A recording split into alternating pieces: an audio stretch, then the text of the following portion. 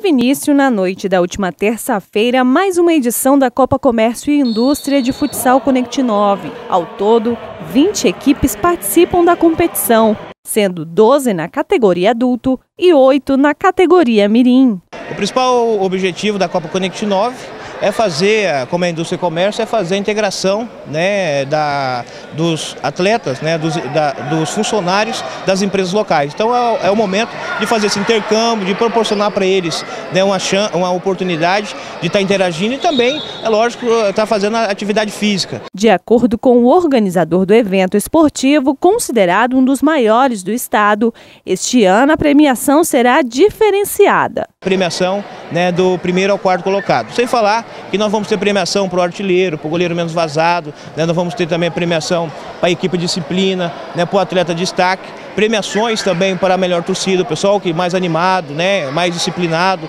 também vai estar tá, tá, é, concorrendo também a melhor, a melhor torcida. Os jogos acontecem todas as terças e quintas-feiras, no ginásio Ninho do Pássaro, a partir das 19 horas.